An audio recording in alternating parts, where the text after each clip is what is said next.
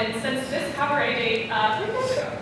Um, so, hi, hello. Um, I wrote, I wrote some stuff, so I'm gonna say. Uh, this is a song from Will Show, which is the first musical that I've solo produced here uh, at UCLA. And when I think about this song, I think about UCLA and Act 3, my time with Act 3. Um, and I didn't go into college thinking that this would be my path. Because who goes into college thinking they're going to manage a student-run theater company? Um, I, I didn't think like this is the thing that's going to make me happy. But I remember walking away from fall cabaret my freshman year, and I was carrying like all this posters and all this crap, as I've come to do a lot for this company, and I was carrying it up the hill, and something just felt like so. I don't talk about this a lot, like say things like this a lot. Felt like so cosmically.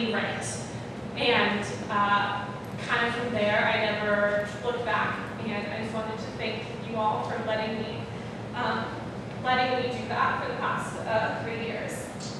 And I want to sing this song, and really uh, for, yeah, to thank you guys for that. Act 3 was the greatest accident that ever happened to me, um, and it's allowed me to have this community and have all of you. And Act 3 shaped and created my college experience, and I wouldn't be the same person that I am without it. And I really wouldn't be who I am today without all of you. So, thank you.